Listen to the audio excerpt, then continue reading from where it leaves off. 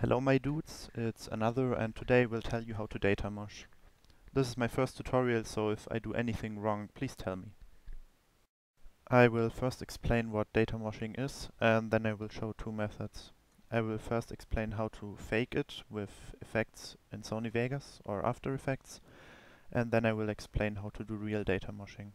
This here is a great example of how cool data moshing can look like. It's basically those pixel transitions.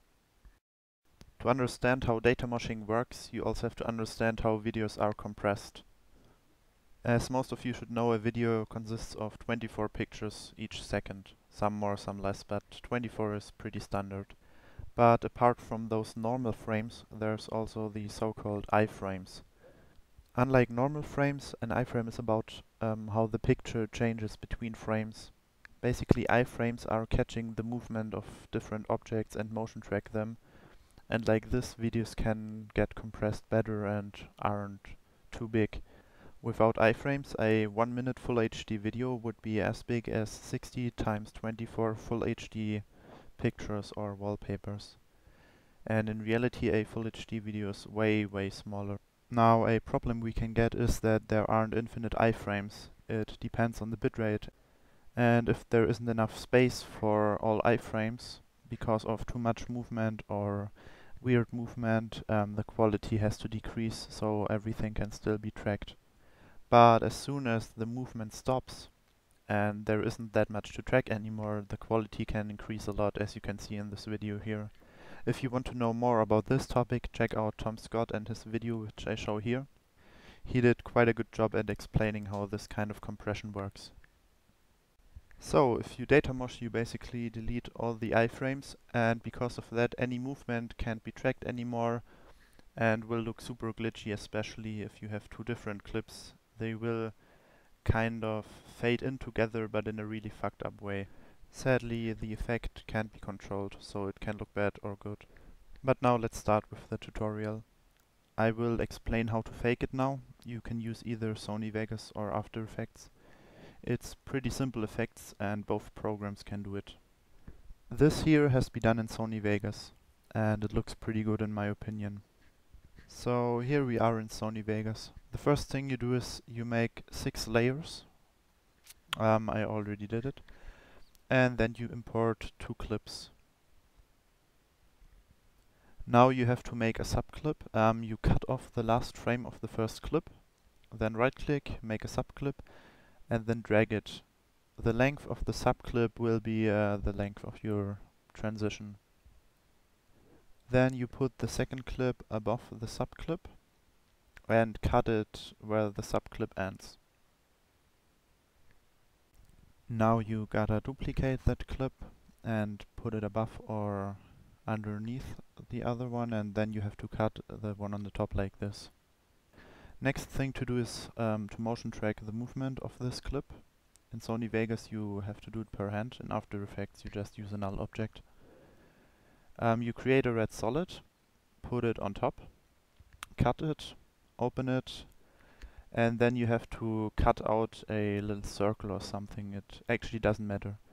And then you put it on what you want to motion track. I will motion track the head or the, the mouth because that's the main movement.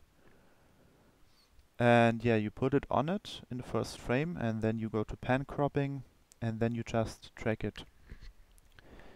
You don't have to track it frame by frame.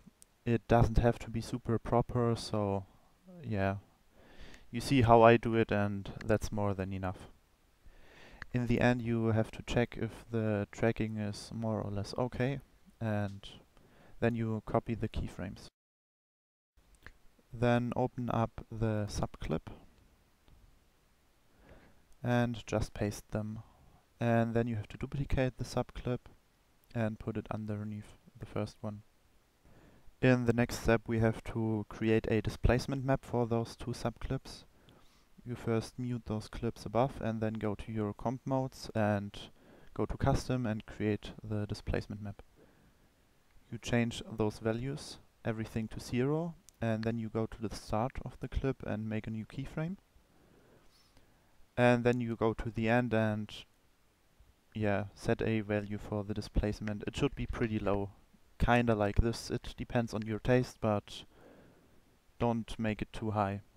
And yeah, then it's nicely animated, as you can see here.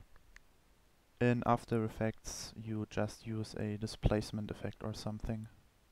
Now we go to the clips on top again and mute the one above and then go to effects and go to chroma key. In After Effects you just use the color key. You have to select a main color, for example here the orange of the woman's suit, and then you key it. You then keyframe the second value and in the end it has to be set to the lowest and in the beginning it has to be set to the highest. Like this you have a nice transition. So in the beginning everything is keyed out and in the end it's not. Then you mute, mute that clip and unmute the other one and just key out the color black. In very bright clips you can key out white, but usually you have to key out black. And you do the same again and animate it like the same.